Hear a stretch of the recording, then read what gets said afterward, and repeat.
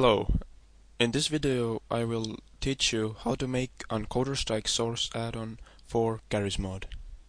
To open the game cache files you need a program called GCFscape. Now let's open the Counter-Strike Source shared game cache file. The client one is unnecessary.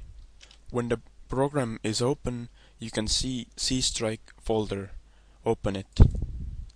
Now select Sound, Scripts, Particles, Models, Materials and Maps.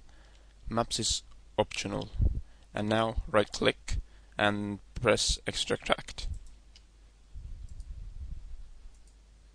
I have already done that and I have here six folders as you can see. Now open the folder which you extracted the contents in. Now make a simple text file.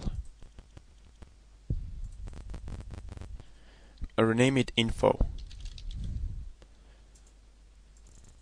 In the contents, place this.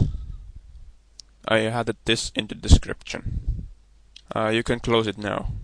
Basically, the add-on now works, but we need spawn lists. So I made a zip file which contains the spawn lists. I will copy it here. As you can see I copied settings zip archive here. Now just extract it here. It extracts into a folder of settings which contains spawn lists folder and this contains 5 spawn lists for Garry's Mod. This is pretty much it. Thanks for watching. I'm Kajar9. See you soon.